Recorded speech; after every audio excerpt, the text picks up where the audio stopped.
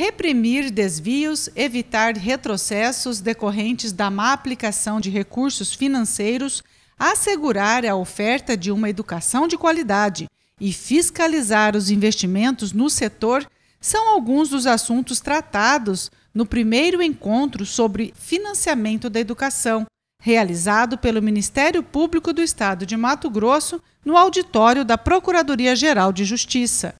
Fiscalizar o cumprimento do Plano Nacional de Educação depende de recursos. Melhoria de estruturas, melhoria de atendimento das escolas, tudo depende de financiamento. Sem recursos, isso, esse serviço educacional não consegue ser prestado ao cidadão.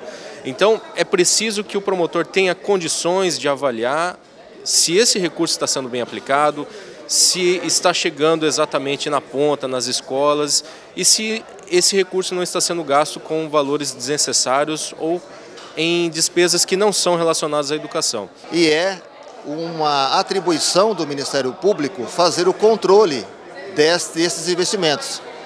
Para quê? Para saber se o Estado está fazendo adequadamente o investimento mínimo previsto na Constituição Federal.